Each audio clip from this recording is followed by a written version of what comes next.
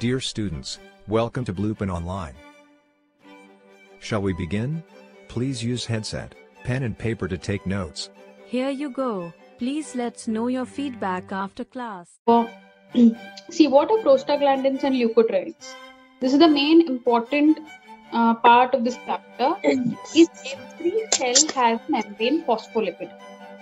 Every cell has a membrane phospholipid, and if there is any chemical or mechanical stimuli, it activates phospholipase A, which breaks a 20 amino acid.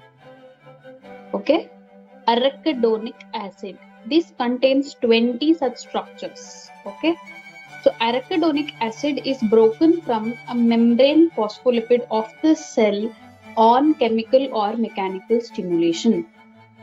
So, what does this fatty acid do? This fatty acid further is converted into either leukotrienes or prostaglandins. So, it depends upon which cell, is stimulated that it chooses either of these two pathways. That is, one is known as the cyclooxygenase pathway the other is known as lipooxygenase pathway. I want you to remember it's very, very important.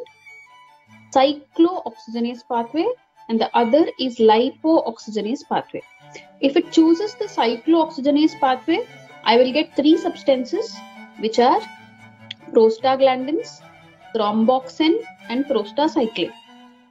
If I choose the lipooxygen pathway, I will get leukotrienes. Okay. So my chemical mechanical structure stimuli the cell. The arachidonic acid is broken off from a membrane phospholipid. It is a 20 structured fatty acid.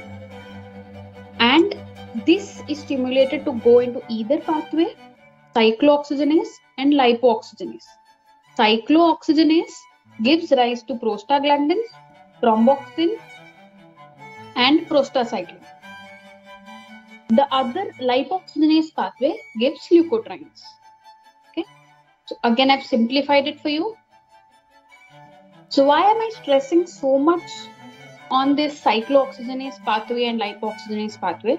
Because their ultimate results are normally seen even in our physiological active form. Even when you and me are sitting, this prostaglandins, prostacyclins, and thromboxanes are continuously getting produced. But whenever I have any infection or inflammation in the body, they become pathologically active. Okay. So because of this pathological activation, they increase in number. Same way with lipooxygenase pathway, they are main, in low levels, they will always be secreted. But whenever there is an infection or an inflammation, they will get increased. This will lead to more inflammation and something we dealt with in last class, anaphylaxis. Do you remember? Do you remember yes, anaphylaxis? Correct. So leukotrienes moderate anaphylaxis. Just like histamine, they are also a part of it. They also attract WBCs to the site of infection. So all this is done by the leukotrienes in this, like you can see, there are two enzymes that I've highlighted, COX-1 and COX-2. COX-1 is normally there in us. COX-2 comes only when there is inflammation.